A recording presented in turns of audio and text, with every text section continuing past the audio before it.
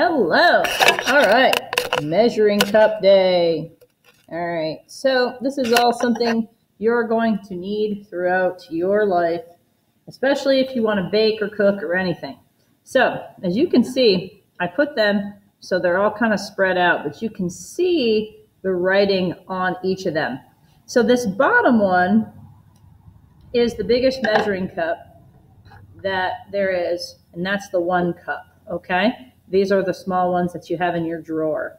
And then you have the half cup, and half cup and a half cup make one full cup. Think about the rules of fractions. So this is kind of like the video you are watching and understanding, okay? Um, so a half plus a half equals one um, whole. Okay, so one whole cup, and then a half plus a half equals a whole. Okay, now, as you can see, the next size would be the third cup, one third cup. So if you need to measure stuff um, with the third cups, we have one third plus one third, that's two thirds. But if you add another third to it, that equals one whole cup.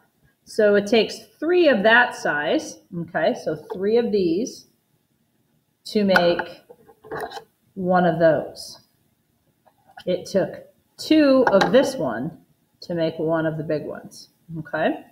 Now, the smallest of the measuring cups is the fourth cup, okay? So the fourth cup on it. So we have a fourth plus a fourth that equals 2 fourths, which equals 1 half. So this cup, two of this cup makes that cup. Okay? Another way of looking at the fourths is, let me moving my board down some, is one fourth plus one fourth plus one fourth plus one more fourth equals one whole. So looking at the measuring cups, it takes this small one, four of these, to make one of those big cups.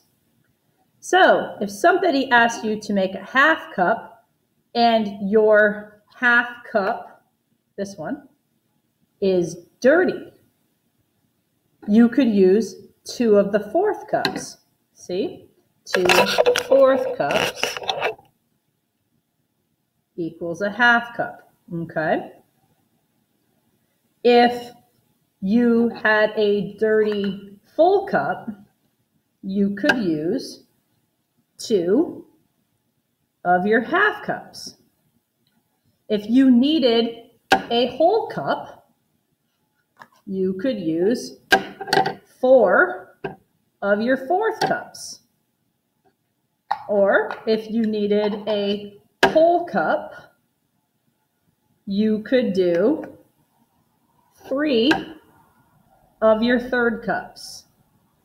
Okay? If something calls for two thirds, you just do two of your one thirds. If something calls for three fourths, you use three of your one fourths.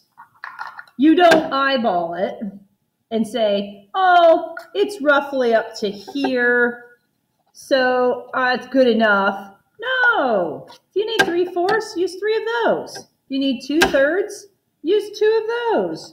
If you need a half, use a half.